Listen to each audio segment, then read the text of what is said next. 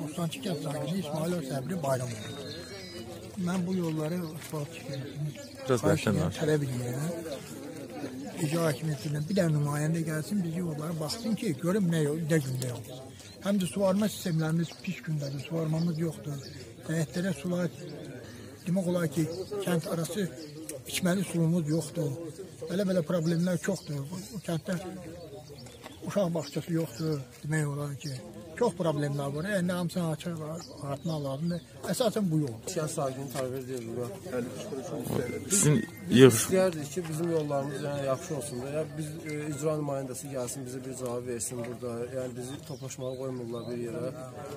Ya, yollarımız gördüyünüz kimi, yəni yerində çəkə bilərsən, pis gündədir. Heç demək olmaz ki, yaxşı vəziyyətdədir. Yəni e, daşdır, maşındır, sürür cəmaət.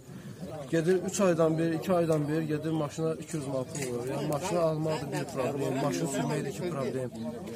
Yəni yollarımız pis gündədir, nətər deyir, bizim hər bir problemimiz var, heç bir problemimiz işıqlanmır. O da yazılır, ərizə yazılır. Yəni ki, şikayət olunur, bir baxılmır konkret olaraq baxılmır. İstəyərdik ki, yəni bizim bu işimizə baxılsın. da. İndi 5-6 kilometr yoldur. Yəni bu dövlətin büdcəsində yəni bu hələ belə bir şey ki, yəni 6 kilometr yol. Asfalt çəkilməyə heç bir şey deyil. Asfalt çəkilsin, minerasiya ümumiyyətlə sularımıza baxsın. Çox əsas problemimiz də yoldur. Yəni, yolumuza da ki baxsın da bu Nə istəyirik ki biz yığılmışıq bir dənə cəmaət yığılıb hamısı istəyir ki kimsə bizə bir cavab versin də.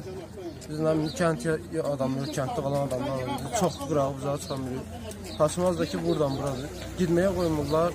Gəlməyə də ki bir nəfər gəlsə bizə desə ki hə olunacaq, falan vaxt olunacaq. Dəqiq bir söz deməkdir. Yəni ki yalan demək lazım deyil də. Yalan nəyə lazımdır ki? Dədəli kənd inzibati ərazi dairəsi üzrə nümayəndə Abdullah müəllim. o cəmaatın bura yığışmaq səbəbi nədir? Bilirsiniz, cəmaatın dünəndən mən bizim məlumatımız var. Mən bir neçələrlə görüşdüm dünən və bu gün də gəldim ki, yenə dedilər bura yığışacaqlar. Yəni mə məsələyə aydınlıq gətirim.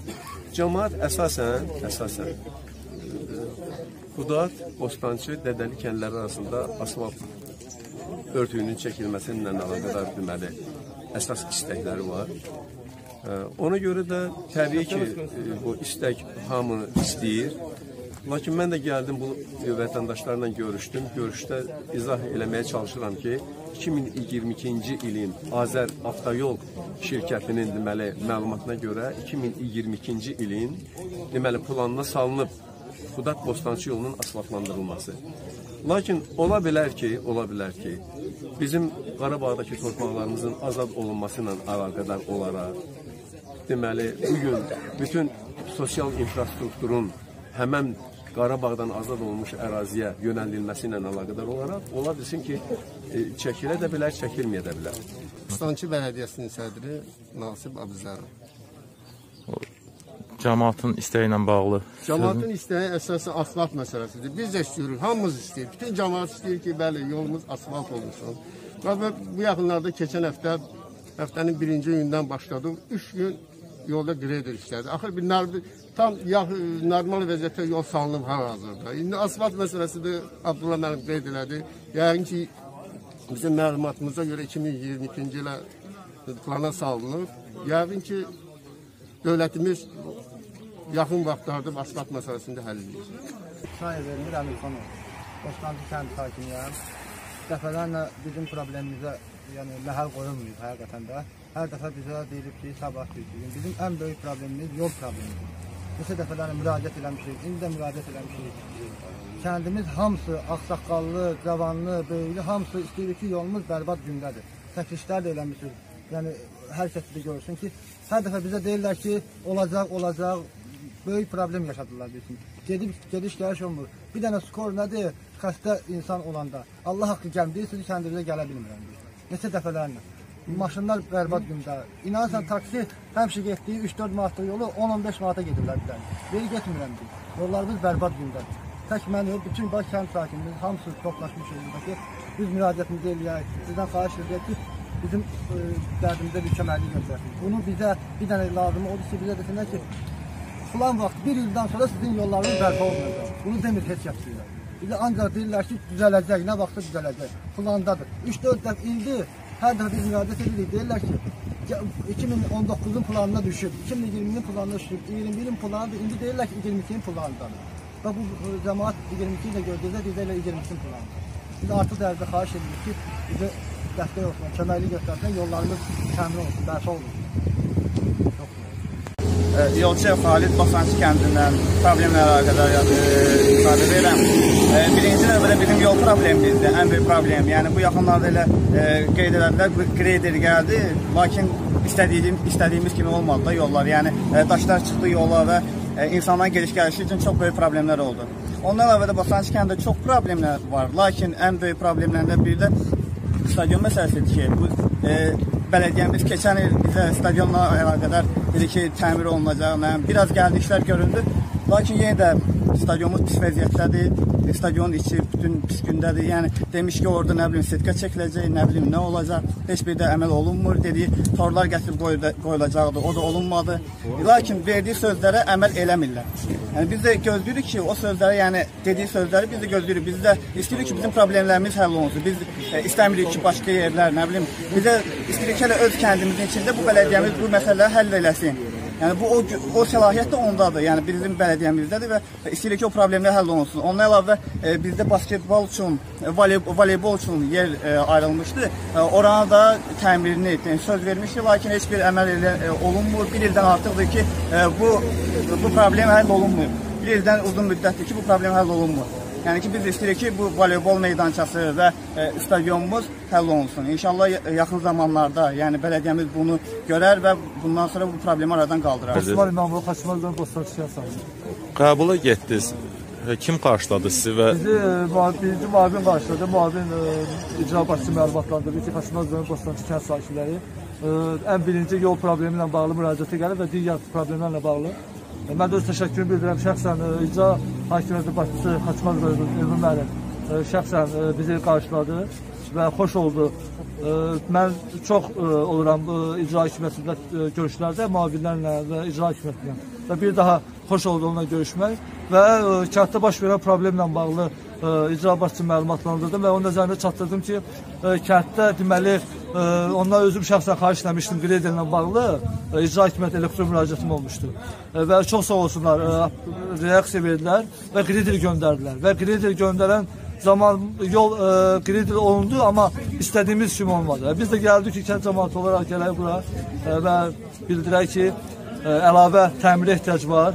E, tək Gredellə kifayətlənməsin və o üzlük problemi həll olunsun. Yəni e, katokla həll olunsun və biz də gediş-gəlişimiz e, problem yaranmasın. Və digər məsələlər, kənddə tim məntəqəsi var. E, bildiyimiz kimi bir 3 nəfər, 4 nəfər e, oradan əmək haqqı alır və heç bir fəaliyyət göstərmir. Baxmayaraq ki, pandemiya dövrüdür. İl yarımdan çoxdur ki, ölkəmizdə pandemiya şəraitidir. Amma buna baxmayaraq heç hər hansı bir e, nətərdə fəaliyyət dövrü yoxdur və şəxsən müavin Xaçmaz rayon rayon xəstəxanası baş həkimi Səyyar e, bəylə bir avazlı əlaqəyə çıxaraq e, kənddə olan e, tim məntəqəsinin fəaliyyətinin davam etdirilməsi haqqında e, göstəriş verdi və nəzərinə çatdırdı ki, əgər fəaliyyət göstərmirlərsə biz onları yeni kadrlarla əvəzləyək. Və əgər köhnə kadrlarda fəaliyyət göstərmək edirlərsə, yəni öz işlərinin başında olsunlar. Və nəzərinə çatdırdım ki, Tim məntəqəsinə kəndin mədəniyyət evi klubu e, yaxın bir ərazidə yerləşir və buna baxmayaraq orada sanitar qovşağı yoxdur və bildirdim ki, yəni sanitar qovşağı eləmək istəyirik, prosta icazə istəyirdik ki, yəni orada bir kənd cəmaatı olaraq, bir kəndin bir cavanları olaraq biz orada bir sanitar qovşağı yarataq. E, yəni ki, yəni ki, ora gələn qonaqlar da yəni ki, ondan istifadə edə bilsinlər. Və o da orada qeyd elədi və icra hakimi, e, icra nümayəndəsi Abdullah müəllim və bələdiyyə sədri Nasib bəy də məlumatlandırdı və məlumatlandırdı ki, və bu problemlərə həll olsun.